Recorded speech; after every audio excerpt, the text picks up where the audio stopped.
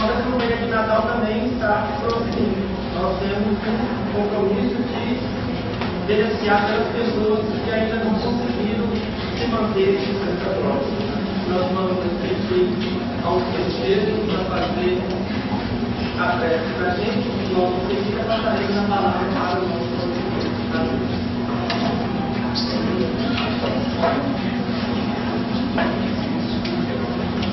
Thank you. Senhor Jesus, dinamico de nossas almas. Ajoelhamos diante do teu coração, de alta vontade, para a nossa querida Sérgio.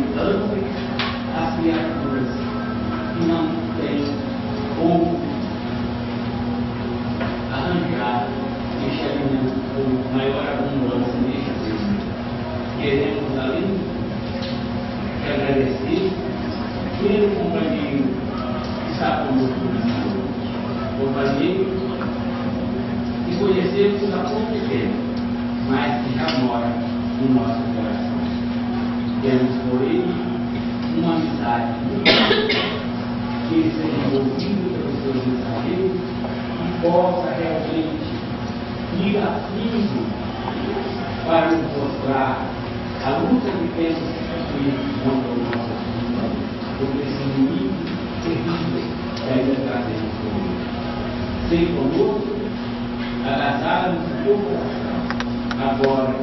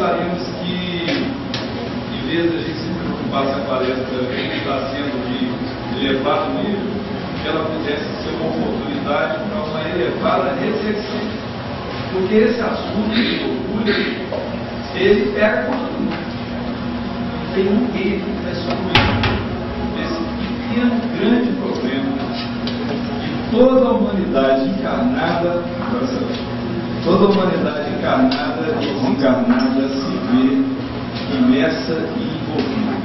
Então o que nós vamos fazer aqui não é, é não será trazer lições, principalmente lições de experiência própria a respeito do assunto, mas trazermos alguns tópicos para reflexão. E é isso que nós pretendemos. Gostaria de começar com a leitura do Emmanuel, que está no livro Pensamento e Vida. E o Emmanuel, para falar de orgulho, nós escolhemos a mensagem dele que se chama Humildade. Gostaríamos de convidar os irmãos para nos acompanhar. O Emmanuel diz assim, agora eu vou achar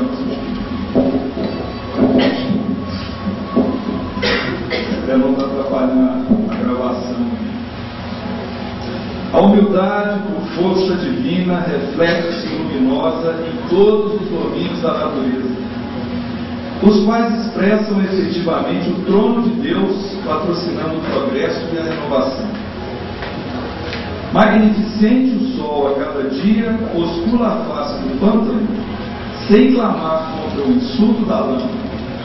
A flor sem alarde, incensa a glória do céu.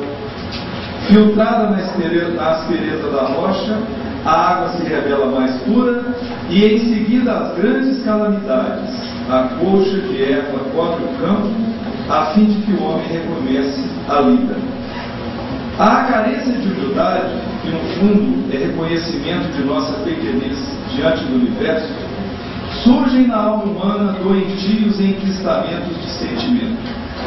Quais sejam o orgulho, a cobiça, o egoísmo e a vaidade, que se responsabilizam pela discórdia e pela delinquência em todas as direções. Sem o reflexo da humildade, atributo de Deus no reino do eu, a criatura sente-se proprietária exclusiva dos bens que a despreocupada da sua condição real de espírito em trânsito nos carreiros evolutivos. E apropriando-se da existência em sentido particularista, converte a própria alma em cidadela de ilusão, dentro da qual se recusa ao contato com as realidades fundamentais da vida. Sob o fascínio de semelhante negação, ergue as orraques de revolta contra todos os que inclinem o espírito ao aproveitamento das horas, já que sem o clima da humildade não se desvencilha na trama de sombras a que, se ainda, que ainda se vincula no plano da animalidade que todos deixamos para trás após a auréola da razão. Possuída pelo espírito da posse exclusivista, a alma acolhe facilmente o desespero e o ciúme, o despeito e a intemperança, que geram a tensão psíquica da qual se derivam perigosas síndromes na vida orgânica, a, que se, a se exprimirem na depressão nervosa e no desequilíbrio emotivo, na ulceração e na disfunção celular, para não nos referirmos aos deploráveis sucessos da experiência cotidiana em que a ausência da humildade comanda o incentivo à loucura nos mais dolorosos conflitos passionais. Quem retrata em si os louros dessa virtude, quase desconhecida, aceita sem constrangimento a obrigação de trabalhar e servir. A benefício de todos, assimilando deste modo a bênção do equilíbrio e substancializando a manifestação das leis divinas que jamais alardeiam as próprias dádivas. Humildade não é servidão é, sobretudo, independência. Liberdade interior que nasce das profundezas do espírito. Isso, apoiando-lhe a permanente renovação para o bem. Cultivá-la é avançar para frente e, sem prender-se, é projetar o melhor de si mesmo sobre os caminhos do mundo. É olvidar todo mal e recomeçar alegremente a tarefa do amor cada dia. Refletindo-a do céu para a terra penhor de retenção e beleza, o Cristo de Deus nasceu na palha da manjedoura e despediu-se dos homens pelos braços da cruz. Nós temos aprendido da espiritualidade superior que a lição da manjedoura foi a primeira mensagem de Jesus para os homens. E essa mensagem traduz exatamente maior atributo de Deus, que é justamente a humildade. Associar Deus à humildade é algo que nós não costumamos fazer normalmente. Nós colocamos Deus como criador, poderoso, onipotente, onipresente, isso e aquilo. Mas é justamente por ser tudo isso e não aparecer e não fazer espetáculos da sua presença é que nós entendemos que está correta a colocação dos autores que colocaram na humildade a grande virtude de Deus.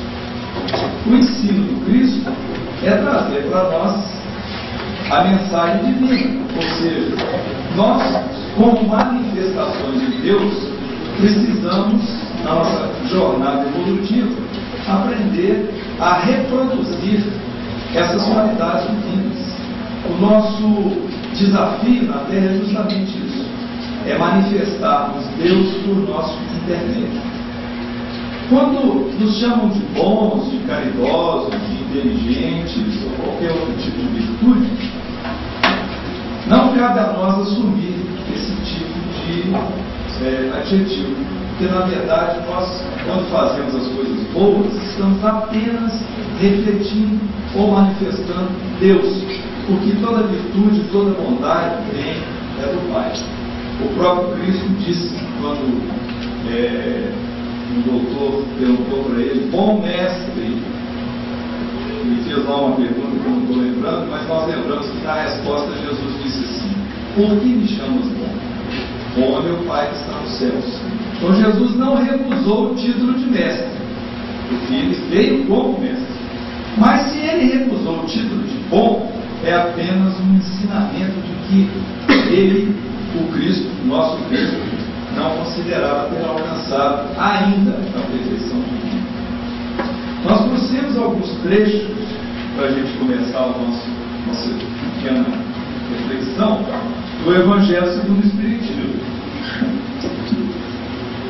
Tem um trecho no capítulo 7, Bem-aventurados os pobres do Espírito, de autoria do Espírito Lacordaire, no item que se intitula O Orgulho a Humildade, em, em que ele diz o seguinte: nós vamos apenas ler algumas frases que nós selecionamos porque é muito extenso. Falando a respeito da humildade. A humildade é virtude muito esquecida entre vós. Este sentimento nivela os homens, dizendo-lhes que todos são irmãos, que se devem auxiliar mutuamente e os induz ao bem.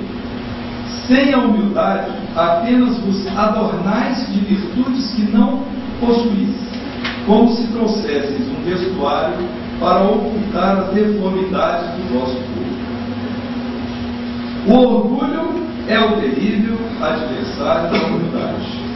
Se o Cristo prometia o reino dos céus aos mais pobres, é porque os grandes da terra imaginam que os títulos e as riquezas são recompensas deferidas aos seus méritos que se consideram de essência mais pura do que a do pobre.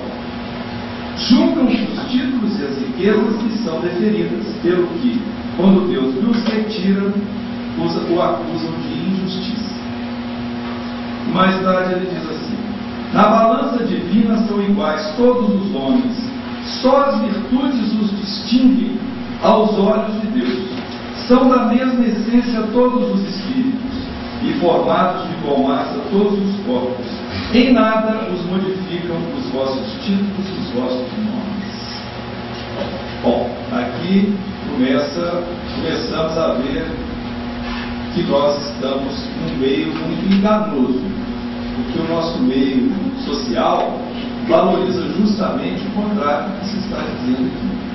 Geralmente são valorizados os postos, a condição social, os sobrenomes, os títulos, no passado os títulos nobiliárquicos e assim por diante. E quando nós não temos dinheiro, não temos título, não temos posse, não temos nada para a gente poder dizer de alguma maneira somos melhores ou superiores que as outras pessoas, que alguma outra pessoa, então nós inventamos alguma coisa para a gente ser melhor. Que faça estimular o nosso orgulho. Ou nós somos mais espertos, ou somos mais inteligentes, ou nós temos amigos influentes, ou nós conhecemos fulano não sei lá onde que faz não sei o quê.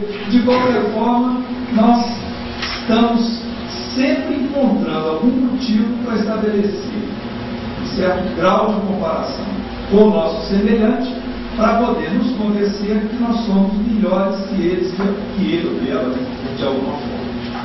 Então, o orgulho é esse sentimento que faz com que a gente pense dessa forma, com que a gente se veja de algum modo melhor ou superior.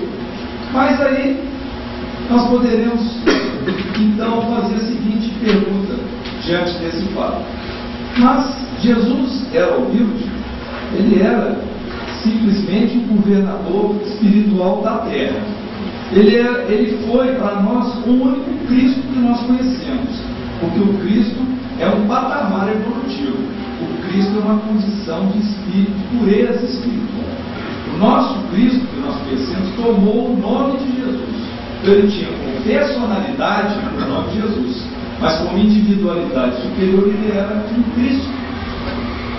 Então, muitas vezes, Jesus se manifestava como Jesus, uma personagem humana, bastante evoluída, educada, fraterna, sincera, mas algumas vezes, na fala de Jesus, nós vemos perfeitamente o Cristo falando acima da personalidade humana.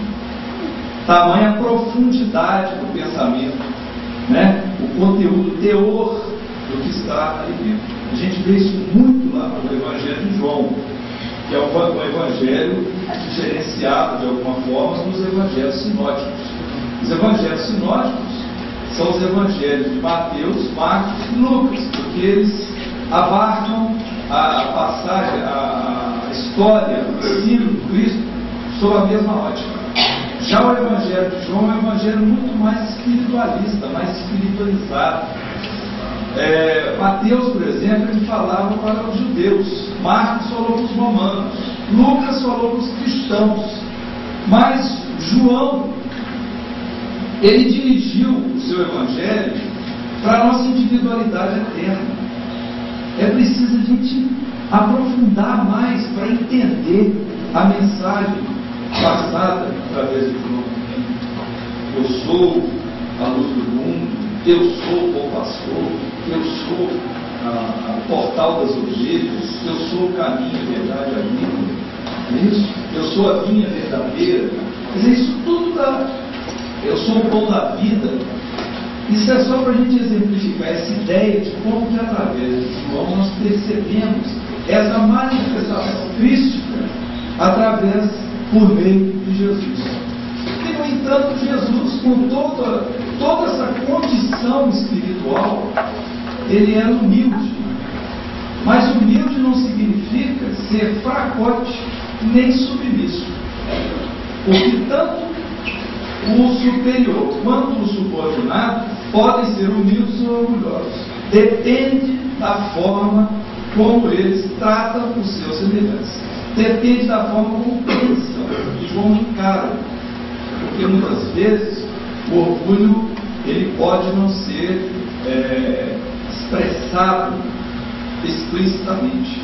Basta que fique no campo do nosso pensamento, no campo do coração, do sentimento, quando a gente sente essa superioridade nossa, quando nós vemos assim, quanto que o outro está errado, o quanto que eu estou certo, mas tem aquele sentimento puro, aquela vontade de ajudar, de colaborar com o outro. Isso são coisas que nós experimentamos praticamente todos os dias, pelo menos em pensamento. Aqui no item 12 do Evangelho, o espírito Adolfo, identificado como bispo de Argel, ele diz assim: Como pode a benevolência coexistir com o orgulho? O orgulho, eis a fonte de todos os vossos males. Um único meio se vos oferece para destruí-lo. Tomardes para a regra invariável do vosso proceder a lei de Cristo. Então, esse Espírito nos indica, nos aponta para a direção de nós estudarmos o que ele chamou de lei de Cristo, que é a lei de Deus, o pensamento divino, traduzido por, por Jesus através de pensamentos, né, de, melhor, de, de ações, de palavras, de exemplos que ele deixou. Isso é o caminho mais eficiente que nós podemos encontrar para poder combater o nosso orgulho. No Evangelho nós temos um exemplo muito bonito de humildade.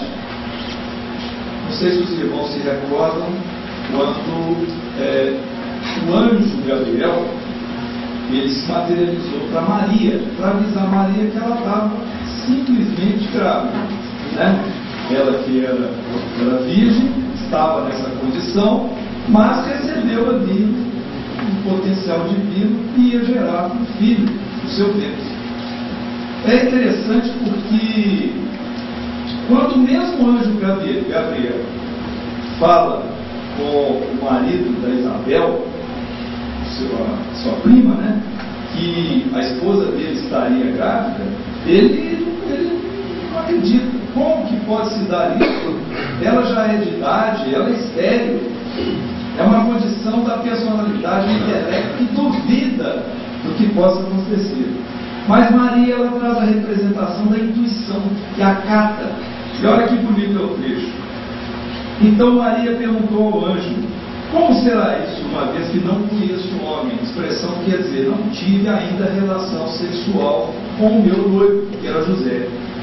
Respondeu-lhe o anjo: O anjo, na verdade, é um mensageiro, é o espírito mensageiro.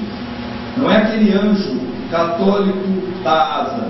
Esse é lá no catolicismo. Para nós, no Espiritismo, o anjo é um espírito que teve por missão transmitir uma mensagem. Então diz assim: o anjo, um Espírito Santo virá sobre ti e o poder do Altíssimo te envolverá com sua sombra, e por isso o nascituro será chamado Santo Filho de Deus.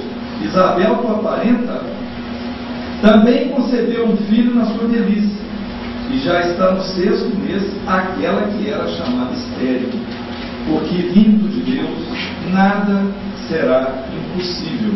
Qual foi a resposta de Maria? Maria disse assim: Eis aqui a escrava do Senhor faça-se em mim segundo a tua palavra. E o anjo retirou-se. Então nós temos aqui nessa passagem uma, um exemplo maravilhoso de humildade. Da humildade que acata a ordem superior. Acata por obediência.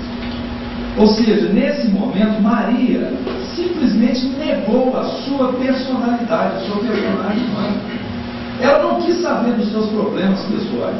Ela não quer saber o que a mãe dela vai pensar, o que o pessoal da rua vai achar, o que, que o marido dela, o futuro marido, que ainda era noivo, né? o que, que ele poderia pensar, que na verdade entre os judeus a condição do noivo é a mesma de casado, só que ainda não coabitava. Mas já era prometida. Já era prometida de José. De sorte que depois José fica angustiado, mas como era um espírito bom, ele pretende o quê? Sair de fininho. Porque ele tinha duas alternativas. Ou mandava lapidar, apedrejar marido, que estava na lei, ou dava carta de divórcio. Qualquer uma das situações, ela seria humilhada.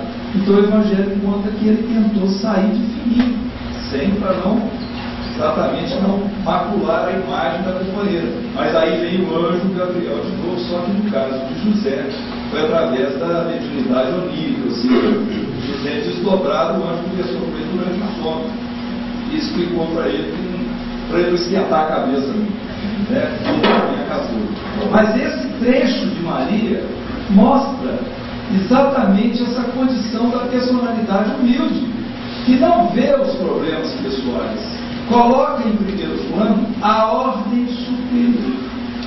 Mas a ordem superior aqui ela está simbolizada como um anjo, mensageiro de Deus. E para nós? Como é que é essa ordem superior? Não aparece antes para a gente toda hora, né? De vez em quando pode até certas pessoas nos tratarem ou nos dirigirem palavras que às vezes, por mais duras que possam parecer, sejam para nós como uma mensagem do anjo, que nos dá o bom ouvido, que nos aconselha a fazer isso ou deixar de fazer aquilo. Mas, geralmente, nós temos a oportunidade de ter acesso a essas informações, essas mensagens, esses conselhos, pode ser não apenas pela voz de amigos ou de inimigos, mas às vezes por um livro que a gente lê, por um programa que a gente assiste, por um exemplo que a gente vê na rua. E aí nós gostamos de lembrar uma mensagem que o Emmanuel tem lá no livro Pão Nosso, que o título é assim, A quem obedeces? Porque nós precisamos realmente tomar uma decisão. A quem nós estamos obedecendo? A nossa personalidade, vaidosa, ambiciosa, egoísta, orgulhosa, separatista, ou nós estamos obedecendo a algo que nos é superior? Porque obedecer ao que nos é superior é ter que dobrar os joelhos, é ter que fazer aquilo que Jesus recomendou como caminho do discípulo, negar a si mesmo, tomar a sua cruz, segui-lo. Negar a si mesmo é justamente isso. Analisar todos os aspectos dessa nossa personalidade humana de hoje e ver o que, que eu preciso fazer para combater todas essas dificuldades morais. Porque nós estamos numa espécie de duelo. Ora fala nossa personagem, nossa personalidade, que é muito forte e que vibra com a matéria, e poucas vezes fala o nosso eu eterno. Esse caminho é muito pelo lado da intuição. Às vezes, nos momentos, para os que não têm a prática desse caminho intuitivo, a prática do momento da reflexão, da meditação, da, da, da oração, da prece, a prática da abnegação, da renúncia, do silêncio, isso, essa prática faz com que a gente consiga alcançar esse nosso eu superior. Mas geralmente não é assim que funciona. É o nosso eu materialista, imediatista, estamos com pressa, estamos ansiosos, é, como nós dissemos, somos divisionistas, separamos, segregamos, rotulamos. Ou alguém aqui ainda não carimbou a testa do outro com um adjetivo. Ou será que tem algum de nós aqui que não tomou alguns carinhos na nossa testa por outras pessoas e que vão ficar por elas carimbadas para sempre? Que nós também fazemos isso com os outros. Se alguém comete, é, é, se alguém faz para nós coisas boas a vida inteira, é normal que a gente não se lembre de nada, mas se der uma pisadinha no carro, a gente não esquece de nunca mais. Isso é o normal de acontecer. Portanto, essa questão do perdão que Jesus falava tanto, combatia tanto, é, é muito importante para o nosso processo evolutivo. E o orgulho é uma das principais barreiras para que a gente consiga perdoar. É uma barreira terrível, porque vencer o orgulho significa vencer o grande inimigo que se chama eu. Eu mesmo preciso cobrar o meu eu inferior. Mas para eu conseguir fazer isso de uma maneira mais eficiente, é bom raciocinar, pensar, refletir sobre essas coisas para nós conseguirmos sinalizar o momento em que nós estamos sendo orgulhosos e por isso estamos afastando de Deus e nos aproximando mais do polo do antissistema que é a matéria. O caminho de evolução é deixar o antissistema, matéria, e seguir para Deus. Mas como é que é esse seguir para Deus? Ora, Jesus apontou o reino dos céus praticamente em, em suas principais, é, seus principais ensinamentos, a recompensa era o quê? Reino dos céus. É isso? E o que é esse reino dos céus, afinal? A nossa, é, a nossa forma de pensar materializada encontra em reino do céu um lugar, uma posição geográfica, os próprios discípulos de Jesus, João e Tiago, é, foram pedir para Jesus um lugar nesse reino, uma direita, uma até, até a mãe dele, segundo Marcos, vai interceder. Conceda que quando o senhor estiver no reino do céu, meus filhos ficam à direita ou à esquerda. Quer dizer, é aquele pochavozinho que lá entre os discípulos de Jesus já estava acontecendo. Um privilégio dos lugares. Ah, eu sou amigo do deputado tal, eu conheço o vice-presidente, não sei da eu, eu, eu sou chapa lá do diretor ali. Coisas da personalidade humana, que às vezes fazem parte das nossas relações. Nós não estamos condenando isso, mas estamos alertando qual está sendo o nosso movimento íntimo nessas situações. Então, nesse sentido, Jesus registrou, aliás, é, Lucas registrou é, em uma de suas passagens que o reino dos céus, segundo a palavra de Jesus, é, não vem com aparências exteriores, não é isso? Ele disse assim: uns dirão, ei aqui, ei ali, mas o reino dos céus está dentro vós. Então, o caminho para esse reino, esse estado de felicidade superior, não é nada material não é morrer e encontrar com Deus, não é encontrar com Jesus e estar lá no trono com Jesus. Não é nada disso. A felicidade, ela depende da forma como nós pensamos. A maior parte do tempo nós estamos pensando coisas boas ou coisas ruins. As coisas boas, no tempo que a gente pensa, elas são de que ordem? São materiais? São de conforto, de prazer, ou são de preocupação com o próximo, com a ajuda, com, a, com o combate às próprias imperfeições? Isso vai sinalizando para a gente até que ponto o nosso reino interior está tá próximo do reino dos céus ou não. O, olha algumas ideias aqui que nós colhemos a respeito dos segredos do reino dos céus. O reino não é externo, é interno não vem com o rumor das vitórias, nem com o aplauso popular, mas com o silêncio da meditação. Não chega com o orgulho do vencedor, mas com a humildade do vencido.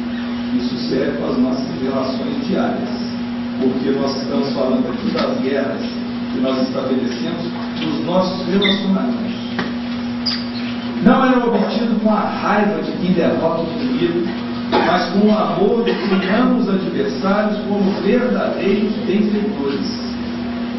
O reino dos céus não é conseguido após a passagem pela cova escura do, túmulo, mas enquanto estamos na carne.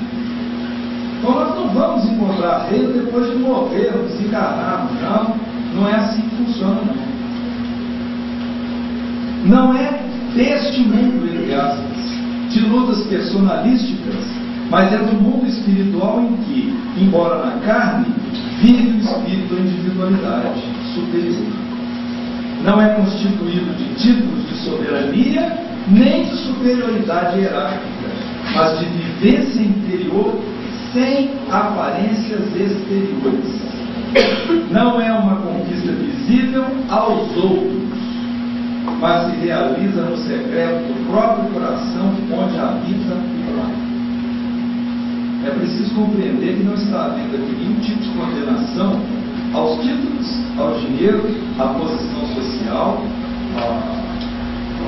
né, ao status, não. Aqui o alerta é, se eu estiver nessa condição de ter títulos, ter posição, ter destaque, como o meu coração está vibrando, como que eu estou sintonizando, o quanto estou sintonizado com a lei de Deus estando nessa condição. Porque Jesus não, não condenou a pobreza, senão ele não teria ido é, exemplificar jantando ou, ceando lá na casa de Zaqueu, que era o chefe da coletoria dos, dos coletores de impostos lá de, de Cafarnaum, não lembro qual é a cidade, Jerusalém, Jericó, fugiu. É uma cidade grande. E ele era o coletor de impostos. Jesus foi lá na residência dele, exatamente para mostrar que o problema não é ter riqueza ou deixar de ter riqueza. Tudo se trata ou se resume com relação ao nosso movimento interior. Nós trouxemos aqui uma mensagem que vai nos ajudar bastante na reflexão desses princípios. tempo aqui para a gente organizar o papel. Carlos Torres Pastorino, no livro Sugestões Oportunas, a mensagem número 28, ele diz o seguinte: chama-se Oposições. Renunciar ao eu personalístico, mas jamais ao eu divino. O eu pequeno é o que cresce para aparecer aos homens. O eu divino oculta-se de todos. O eu pequeno quer engrandecer-se. O eu divino é anônimo por ser infinito. O eu pequeno age em função de si mesmo. O eu divino age em função do cosmo ilimitado. O eu pequeno pensa em relação a si mesmo. O eu divino pensa em relação ao todo. O eu pequeno raciocina segundo seu interesse próprio. O eu divino raciocina para benefício geral. O eu pequeno manifesta-se aos próprios olhos em primeiro plano. O eu divino esconda-se, esconde-se para que o todo se manifeste. O eu pequeno enche-se de orgulho e vaidade. O eu divino anula-se na humildade com o próprio Deus. Essa mensagem dá para a gente uma ideia da, dessa grande, da grande disparidade entre orgulho e humildade.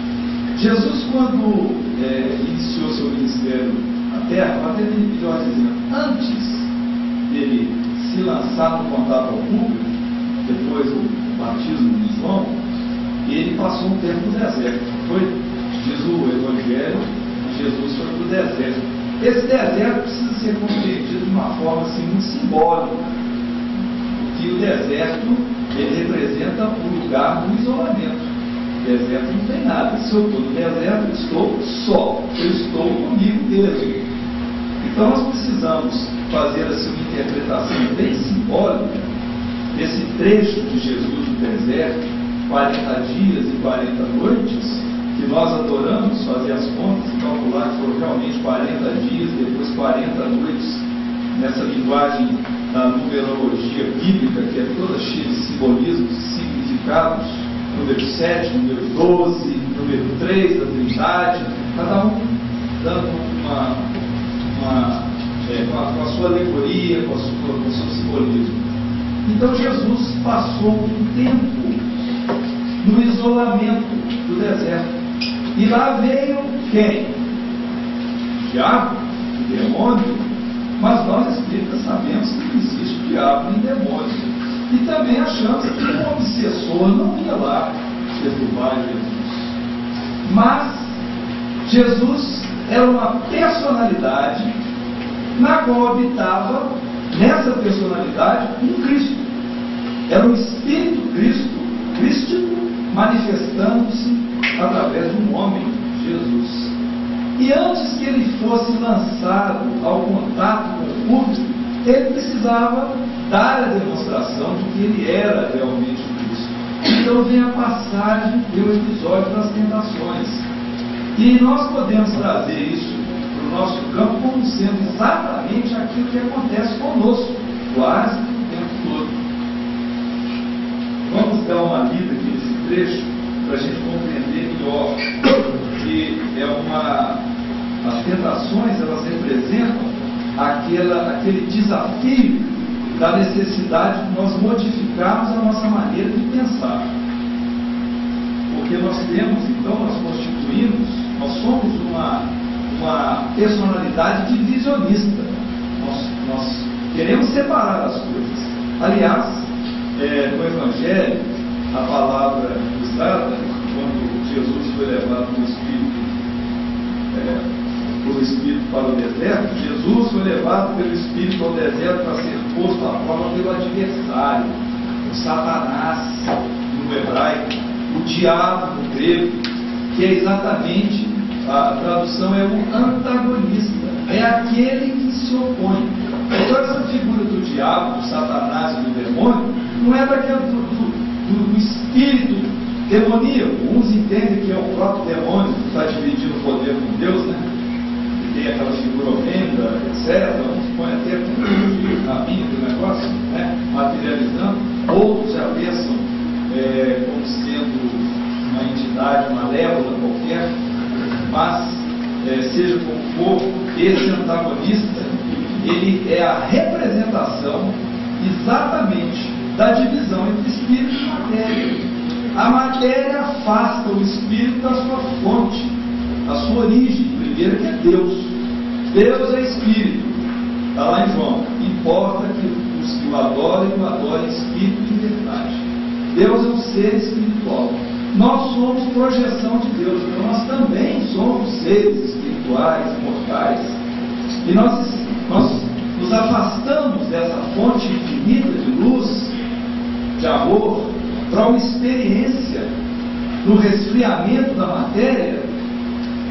E essa experiência, ela nos obriga a retornar para essa fonte, vencendo nas nossas lutas diárias essa nossa personagem humana.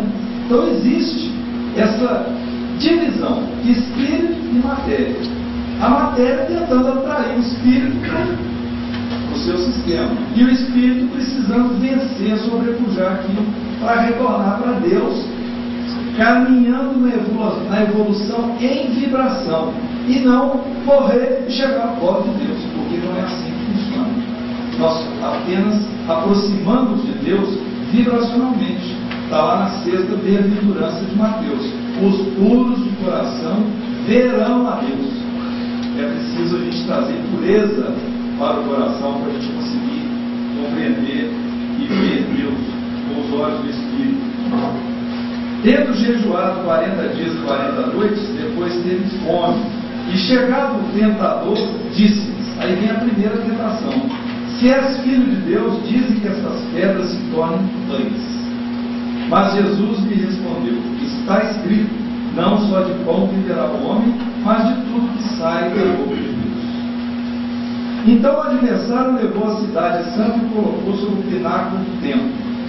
E disse: Se és filho de Deus, lança-te daqui abaixo, porque está escrito: A seus anjos ordenará a seu respeito, e eles te sustentarão em suas mãos, para não tropeçares em alguma pedra. Tornou-lhe Jesus: Também está escrito: Não tentarás o Senhor teu Deus. De novo, o adversário levou um monte muito alto e mostrou-lhe todos os reinos do mundo e o apreço deles. E disse: Tudo isso te darei se prostrado me adorares. Respondeu-lhe Jesus: Vai para trás, antagonista. Ou, gente costuma ouvir, vai de reto, Satanás, né? Na tradução bíblica. Vai para trás, antagonista, porque está escrito ao Senhor teu Deus adorarás e só a Ele darás culto. Então o adversário deixou e eles, eles que vieram os anjos do servir. Se nós imaginarmos essa cena fisicamente, demônio tentando Jesus, ele sozinho no deserto, 40 dias e 40 noites, a nossa lógica talvez vá, vá repudiar isso aí.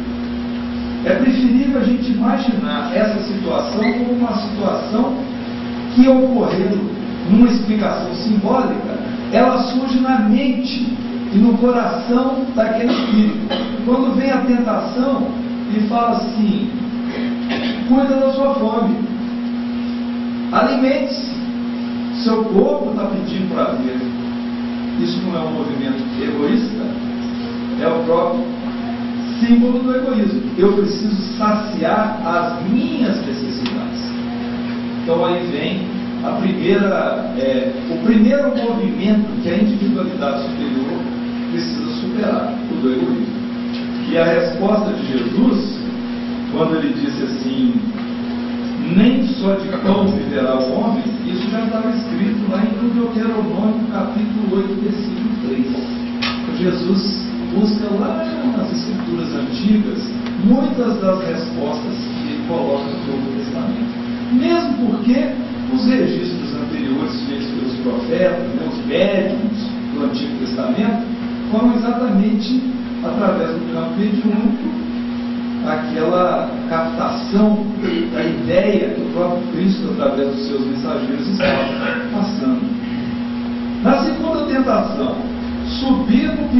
do templo, pular lá de cima e pedir para os anjos virem salvar.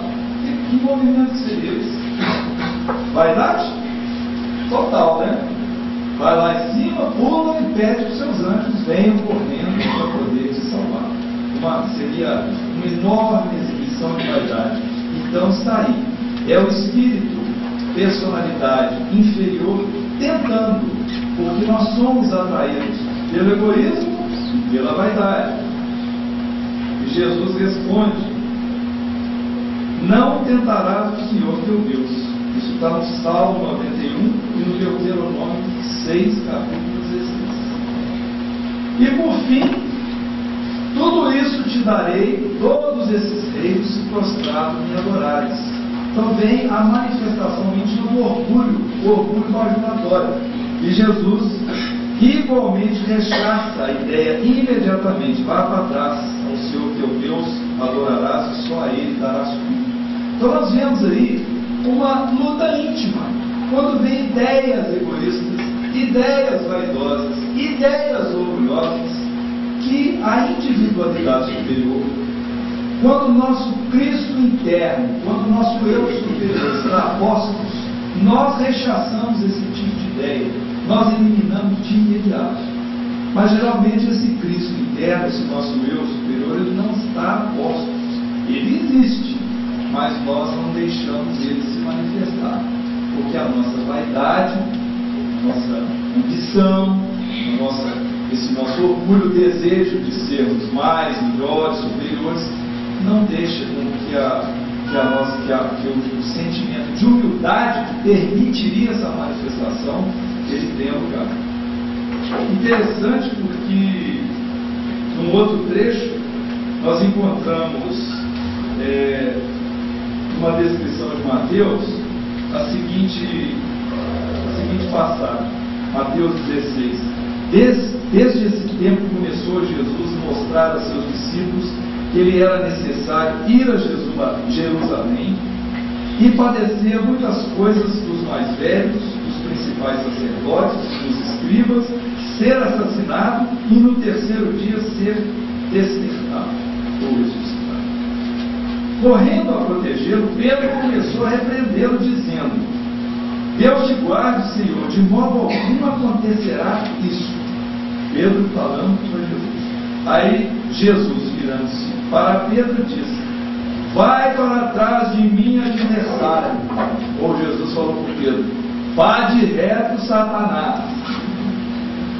Tu me és pedra de tropeço, porque não pensas nas coisas de Deus, mas sim nas coisas dos homens. Ora, será que Jesus estava dando uma chinelada em Pedro, realmente? Ou será que aqui não tem um simbolismo? É o simbolismo da tentação. É, eu preciso, eu, Espírito Cristo, preciso cumprir uma missão, né? uma, uma missão messiânica. Eu preciso superar a minha personagem terrena e cumprir a minha missão divina. Então vem uma mensagem: não, se proteja, se guarde, não faça isso não. Essa resposta é uma resposta simbólica da, da individualidade superior que fala: não. Satanás, quer dizer, matéria, essa atração, fica aí, eu preciso cumprir o meu papel. Interessante que nós, na nossa prece diária, nossa prece dominical, nós fazemos apelos nesse sentido também. Só que nós não percebemos. Qual que é a última frase do Pai Nosso?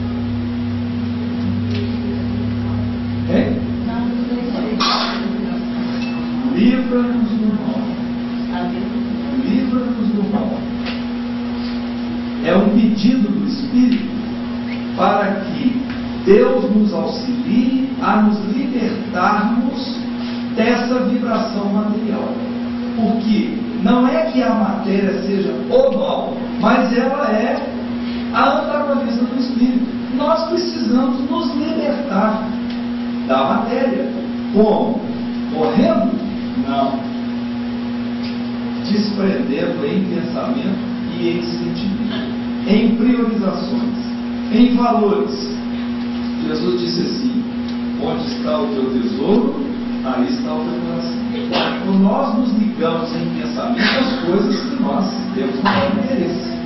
Se nós não voltarmos os nossos interesses para as coisas do Espírito, para as coisas de Deus, o nosso interesse vai ficar sempre voltado para as nossas questões materiais, que nós chamamos, que envolvem os nossos sentimentos, as nossas, é, é, os, nossos, os nossos movimentos emotivos, impulsivos.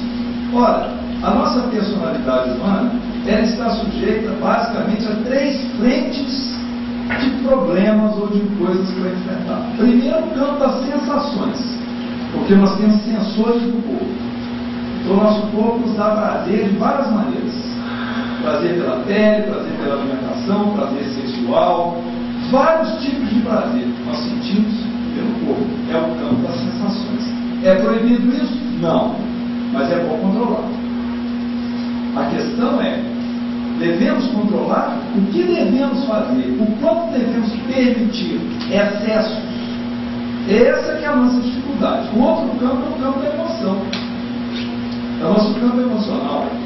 Nós criamos confusão, é, criamos processos kármicos com pessoas, com grupos, até no esporte, até no futebol.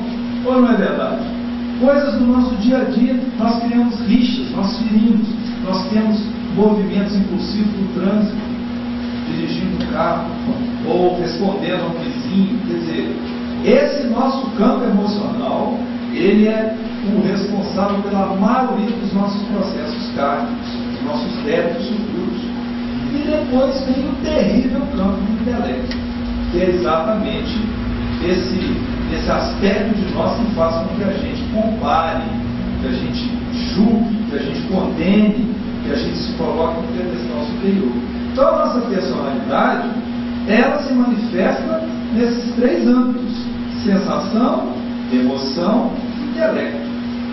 Olha que interessante ah, quando a gente vai caminhando nas bem-aventuranças. Bem-aventurados os pobres de espírito, porque deles é o reino dos céus. Vale a todos nós. O pobre de espírito é aquele que está lá no reino mais inferior, começou agora a jornada e precisa elevar-se até o reino dos céus. Então ele é bem-aventurado, porque o reino dos céus está prometido para ele. Certo? Muito bem. Aí vem a bem-aventurança seguinte: bem-aventurados os que choram, porque serão consolados. É não estão conseguindo o telefone. Fica tranquilo? Até ele tocou o telefone, e também é dele o rei do céu. Né? Muito bem. Então, olha só. A bem-aventurança é a seguinte: bem-aventurados os que choram, porque serão consolados. O choro, ele tem a ver com as nossas sensações físicas, no sentido dessa bem-aventurança. O seguinte, bem-aventurados os que são é, bem-aventurados os mansos, porque herdarão a terra passional. É isso? E a outra, bem-aventurados os que têm fome e sede de perfeição, porque serão saciados. Aí entra o campo do intelecto. Olha que interessante. Quando Jesus é, fez todas, todas reino dos céus também é servido brincadeira descontraída. Mas olha só, Jesus, vamos falar, por exemplo, das curas de Jesus. Jesus curou, vamos lá, é, atrofiados, é, pessoas com atrofias musculares, pessoas com. É, hein? Leprosa, lepra, cegueira, pessoa, pessoa com escorrimento de sangue. Na verdade é o seguinte, Jesus fez curas é, em criaturas que tinham problemas musculares, ósseos, problemas em tecidos, pele, sangue e pessoas com problemas de cegueira e surdez. Então, essa divisão mostra alguns tipos de enfermidade que tem a ver com a condição do espírito.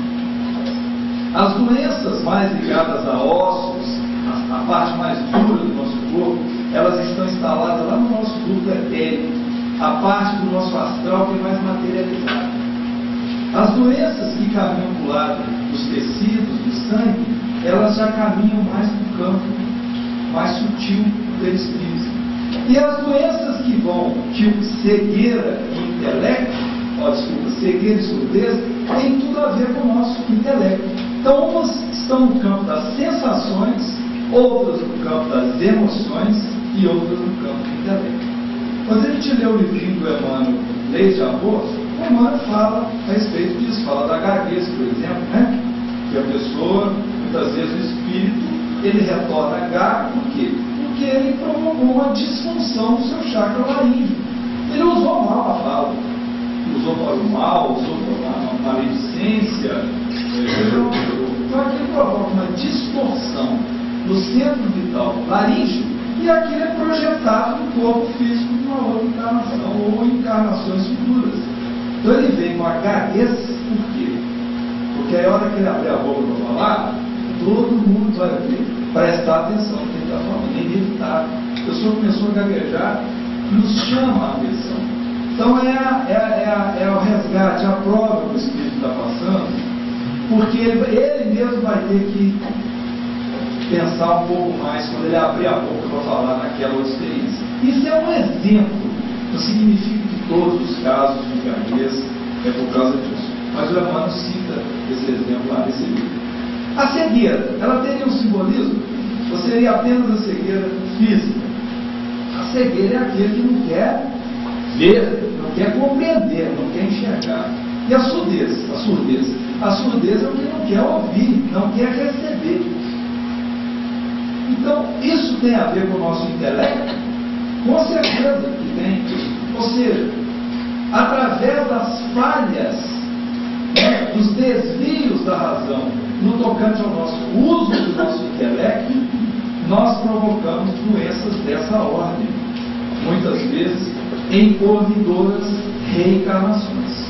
E o orgulho é justamente essa movimentação do nosso intelecto, que faz com que a gente julgue, com que a gente pense, com que a gente se coloque numa posição de superioridade sobre aqueles que nós é, ouvimos.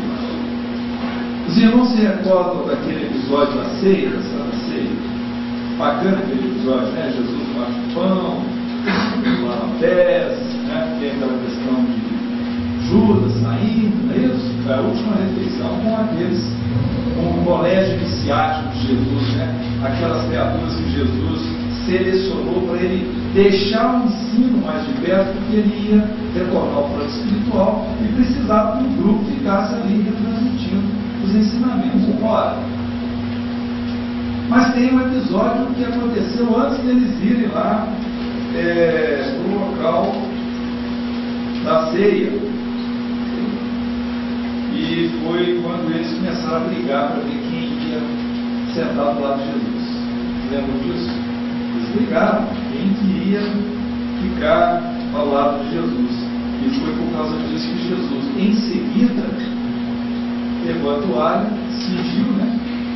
Cingiu e foi lá aos pés dos discípulos, dando a lição seguinte: maior no reino dos céus seja o servo de todos. Então, essa a posição física, a, o local onde se, se situa, ele pode ser indicativo para nós da nossa posição espiritual. Por isso que Jesus também havia dito, né? Que quando a gente for convidado para algum lugar, para a gente se assentar onde? Lá no último lugar. O que pode acontecer da gente vir para frente e o dono da casa falar, por favor, você retira daí para falar com o outro lugar. Isso é tudo um simbolismo. Jesus querendo mostrar para a gente a importância desse movimento de humildade. Se nós tivéssemos isso no dia a dia, não tinha tanta briga no trânsito. Em vez das pessoas quererem passar à frente das outras, elas estavam cedendo o lugar para que as outras passassem. Isso é muito simbólico para nós e faz parte do nosso dia a dia. Naquela hora chegaram seus discípulos a Jesus perguntando: Quem é então maior no reino dos céus? E tendo chamado Jesus uma criancinha, colocou-a no meio deles e disse: Em verdade vos digo que se não vos modificardes e não vos tornardes como as criancinhas, não podeis entrar no reino dos céus. Quem, portanto, se diminua como essa criancinha, este é o maior no reino dos céus. E quem receba uma criancinha assim, em meu nome, me recebe. Por que Jesus colocou a criança como modelo de conduta? Porque a criança simboliza muitas coisas, apesar de que a criança é um adulto encarnado, apesar de que tem, ainda vai manifestar uma série de imperfeições morais de outras encarnações, nesse momento da existência, em que ainda o corpo físico, o cérebro físico, é, não permite as, a, a, as suas manifestações, a manifestação do espírito na sua potencialidade, ela guarda uma série de virtudes, como docilidade, como fé, perseverança, curiosidade, inocência. Então Jesus coloca a criança como modelo de conduta exatamente nesse sentido. Se nós soubermos colocar, nos colocar nessa posição diante das outras pessoas, se nós compreendermos a importância desse ceder, dar lugar, não se sentir com é, é, direito de revidar, porque nós ainda temos muito isso, né? Aquela não leva o desaforo para casa, é, eu tenho que honrar meu pai, aquele tipo de coisa. Isso são atitudes extremamente anticristãs e que não nos leva a nenhum tipo de evolução. Nosso tempo está acabando. O que nós gostaríamos de deixar aqui é uma reflexão para todos nós nesse sentido. Cabe a nós estudar as suas, as nossas próprias questões orgulhosas. Em que momento que nós estamos manifestando esse tipo de sentimento? Para que a gente consiga combatê-los com mais severidade no nosso próprio futuro. Nós agradecemos a companhia, as boas vibrações dos irmãos. Jesus nos abençoe e um ótimo complemento de semana para nós. Muita paz. A honra de receber sempre na nossa casa. Continuem sempre bem-vindos. Note não só nas ocasiões festivas, mas em outras ocasiões que para nós será sempre um prazer, os companheiros. E que a gente possa levar para casa, né? Bastante reflexão e motivo a mais de dar mais para estudar o Evangelho, que é lá que está o segredo mesmo de toda a receita do bem de Deus. Aproveitando a oportunidade hoje, sabe que nós é, estamos lá